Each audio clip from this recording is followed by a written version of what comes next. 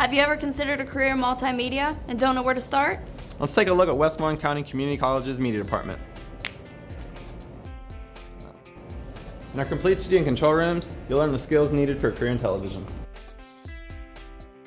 Mike's working on this commercial right now. In our top of the line editing labs, you will learn post production with our Final Cut and Adobe Suites.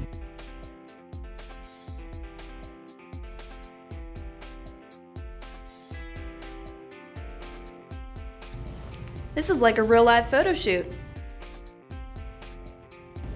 You can shoot a lot of cool photos like these. Here's where students can create various elements using Adobe programs like Photoshop, Illustrator, and InDesign. Enroll today at wccc.edu or call us at 724-925-4000.